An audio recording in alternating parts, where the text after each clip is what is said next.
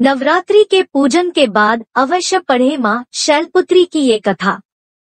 शारदीय नवरात्रि का शुभारंभ 15 अक्टूबर से हो गया है। आज से नौ दिनों तक नौ अलग अलग देवियों की पूजा की जाएगी। शास्त्रों के अनुसार नवरात्रि के पहले दिन माँ शैलपुत्री की पूजा की जाती है। शैलपुत्री माता को उमा, सती और हेमवती आदि नामों से भी जाना जाता है। माँ शैलपुत्री का वाहन वृषभ है।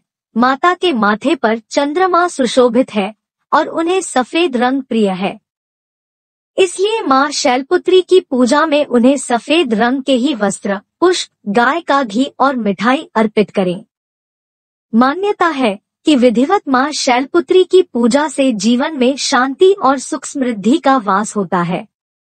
वही माँ शैलपुत्री के पूजन के पश्चात मंत्र जाप आरती और कथा पढ़ना भी ज़रूरी माना गया है।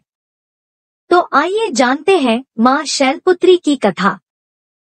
पौराणिक कथा के अनुसार, एक बार प्रजापति दक्ष ने अपने घर पर यज्ञ का आयोजन करने का सोचा तो उन्होंने सभी देवी देवताओं को अपने यहाँ आने का निमंत्रण भेज दिया, लेकिन राजा दक्ष ने भगवान शिव को नहीं बुलाया।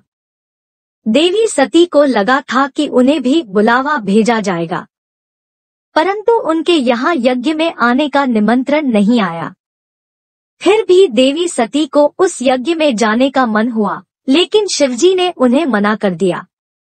शिवजी ने सती को बोला कि अभी उनके पास यज्ञ में जाने के लिए कोई निमंत्रण नहीं आया है, इसलिए वहाँ जाना ठीक नहीं होगा। फिर भी देवी सती ने उनकी बात नहीं मानी।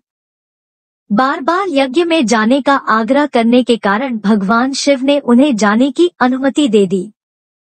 फिर देवी सती जब अपने पिता राजा दक्ष के यहाँ पहुँची तो जाकर उन्होंने देखा कि अपने पिता के यहाँ कोई भी उनसे सम्मान और प्रेम के साथ बात नहीं कर रहा था।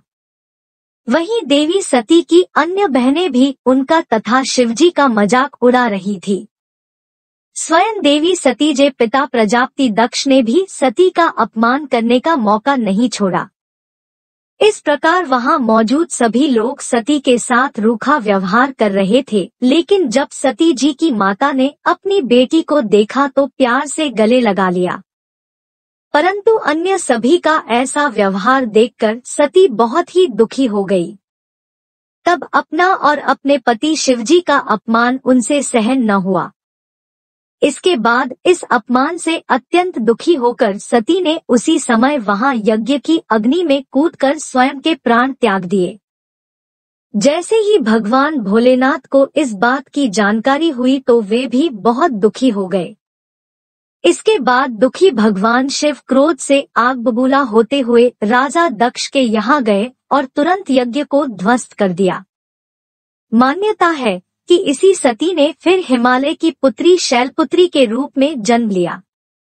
उम्मीद करती हूँ दोस्तों आपको यह कहानी ज़रूर पसंद आई होगी। अगर कहानी पसंद आई हो तो वीडियो को लाइक, कमेंट, शेयर करना ना भूले और हमारे चैनल पर नए हो तो चैनल को सब्सक्राइब करके वेलाइकन को प्रेस कर दे ताकि आने वाली वीडियो की नोटिफिकेशन सबसे पहले आपको मिले।